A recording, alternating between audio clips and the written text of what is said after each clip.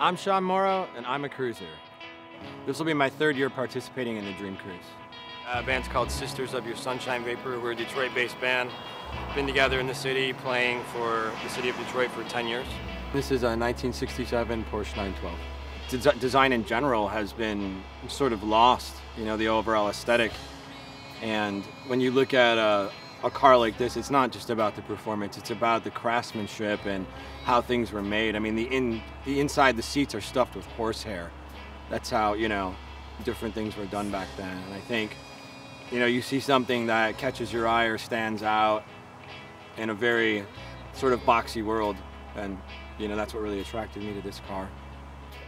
We'll see you at the cruise.